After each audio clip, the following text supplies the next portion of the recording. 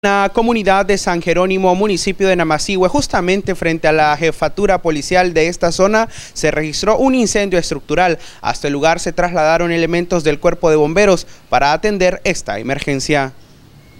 Tuvimos reporte a través del Sistema Nacional de Emergencias 911 de un incendio estructural aquí en, en la aldea de San Jerónimo, municipio de Namasihue donde de inmediato trasladamos una unidad contra incendio hasta este lugar. Al llegar, pues, bomberos comprobaron que se trataba de, una pieza eh, con medidas de 5 por 5 lo cual pues ya había sido consumida por las llamas.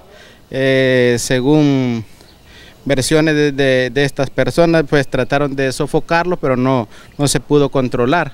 Por lo que bomberos trabajaron en labores de enfriamiento, donde se trabajó con un tendido de manguera de lona, donde se utilizaron 700 galones de agua en, la liquidación total de, este incendio.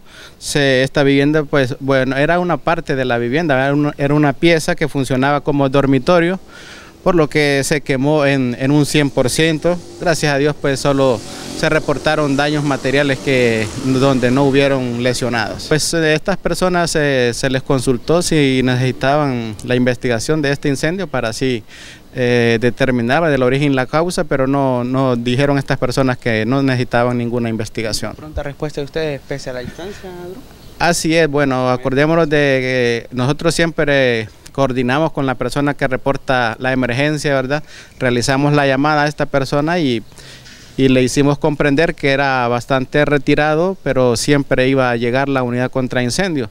Por lo tanto, pues a veces estas distancias es lo que nos, nos perjudican, que llegamos casi a veces, como dice la gente, a nada, pero debemos de considerar las distancias, estamos bastante retirados, acordémonos que solo una estación de bomberos para todo el departamento de Choluteca, entonces se nos dificulta, pero el cuerpo de bomberos hace lo que puede y siempre a la disposición de la población cualquier emergencia que, de que el ciudadano necesite. ¿Habían niños, eh, personas adultas ahí o personas económicamente no, gracias a Dios no, no habían niños en este, en este incendio que, se registró.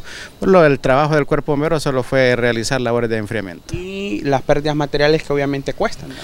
Así es, ¿verdad? Es una pérdida para esta familia que sufrió, ¿verdad? Pero gracias a Dios, como decimos, lo material se recupera, Cristian. Sin duda que una de las mayores necesidades en el departamento de Choluteca es el fortalecimiento de la unidad del cuerpo de bomberos para poder dar una mejor respuesta en este tipo de emergencias. Con imágenes de Joel Gómez, soy Cristian Escaño para Metro TV Noticias y la 107.5 FM Radio.